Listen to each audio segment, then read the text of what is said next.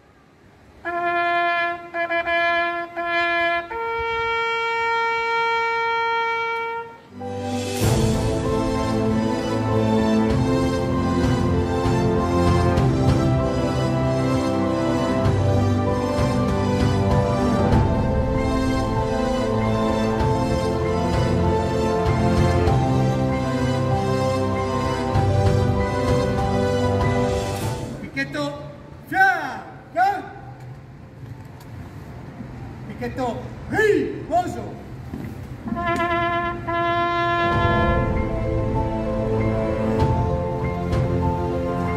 Prende la parola il sindaco del comune di Ormea, professor Giorgio Ferraris.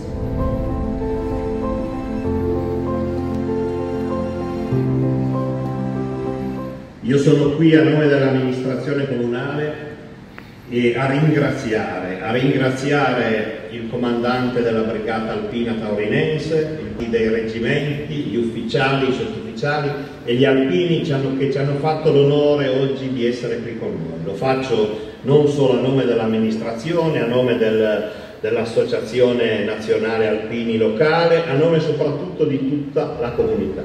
Vi ringrazio anche per questo omaggio che avete voluto rendere ai nostri caduti, per noi sono una parte importante della comunità, che ricordiamo sempre soltanto nella prima guerra mondiale l'elenco l'anno scorso abbiamo messo questa piastra, sono 126 caduti di Ormea nella Grande Guerra, in gran parte erano alpini e li abbiamo comunque ricordati tutti. Ho vissuto quest'estate la bella esperienza del campo estivo in occasione dei 150 cime per i 150 anni, è stata per la nostra comunità un'esperienza positiva e per questo ci auguriamo che sia possibile avere nuovamente sul nostro territorio la presenza degli alpini in arme e per questo offriamo tutta la disponibilità e la collaborazione dell'amministrazione e di tutta la comunità locale che vede negli alpini un punto di riferimento importante e che ha il piacere di poterli avere fra di noi e di poterli ancora ospitare come capitava in passato. Grazie. No.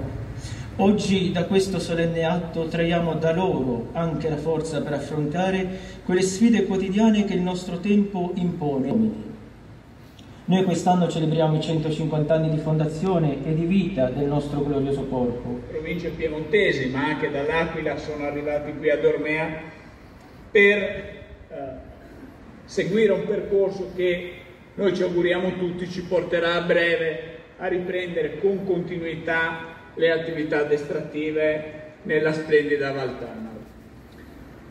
Ringrazio, dicevo, il sindaco al quale va l'ammirazione dei 5.000 alpini della Taurinense perché il senso di responsabilità per guidare le piccole comunità montane che sono poi l'ossatura della nostra Italia, insomma è una virtù importante che, come dicevo, suscita l'ammirazione di tutti gli alpini.